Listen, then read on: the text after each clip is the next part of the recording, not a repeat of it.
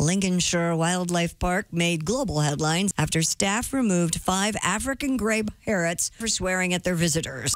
That Josh Arnold show. How you doing? I'm Josh Arnold.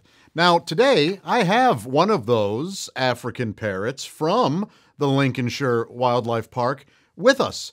It's Mr. David Johnstone. Uh, David, thank you for, for being here. Thank you for having me. Ah, yes. Uh, if you can, please try to refrain from cussing. Ah, shit. yeah. Okay, that that makes sense. Yeah. See, no, that's what I'm referring to. We can't really have have that. Well, let me let me ask you this: you you knew that I was a cussing parrot, and uh, you damn had me on anyway.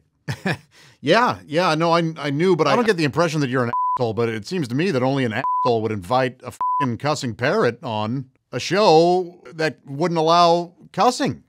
Um, well, if you can just do your best to not cuss while we're here, I, I would certainly appreciate it. You know, I've never tried not to cuss. I, will give it a shot. great, great. Uh, now, how long exactly have you been with the Lincolnshire Wildlife Park? Cunt. All right.